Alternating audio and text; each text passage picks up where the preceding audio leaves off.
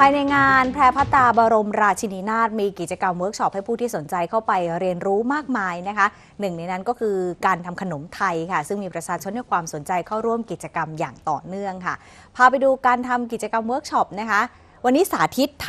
ำวุ้นกะทิมะพร้าวน้ำหอมอืมอื้อหือสวยด้วยอ๋อ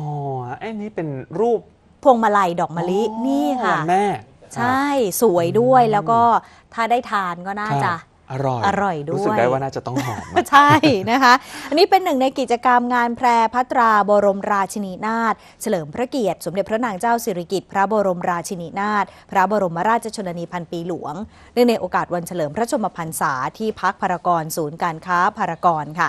โดยคุณครูงามศิลป์ขนมไทยนะคะมาสอนให้ใช้วุ้นใสซึ่งเป็นวุ้นที่ผสมกับ น้ำมะพร้าวหยดลงบนถ้วยของวุ้นกะทิ เพื่อเชื่อมดอกมะลิและพวงมาลัยให้ติดกับวุ้นกะทิที่เป็นฐานอยู่ด้านล่าง วุ้นถ้วยนี้เป็นโทนสีฟ้าขาวก็เป็นสัญลักษณ์ แล้วก็สีประจำวันแม่ด้วยค่ะโดยผู้สาธิตเนี่ยจะได้มีโอกาส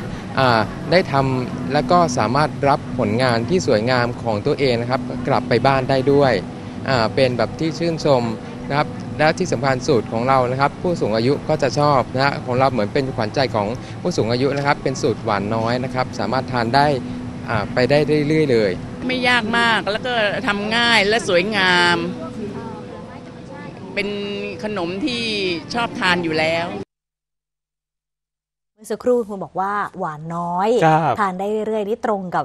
เราเลยนะใช่ครับเราต้องไปแล้วนะคะครับงานนี้วันพรุ่งนี้จะเป็นเวิร์กช็อปทำบัวหิมะนะคะอืมเพราะฉะนั้นใครที่สนใจไปลงทะเบียนได้ตั้งแต่เวลา 13 นาฬิกา เขาจะเริ่มทำเนี่ยตอน 14 นาฬิกาจนถึง 2 ทุ่มนะคะ รอบหนึ่งก็ประมาณ 30 นาทีนะคะ ได้อาชีพด้วยแล้วก็ได้เห็นครับกิจกรรมต่างๆ มากมายด้วยค่ะ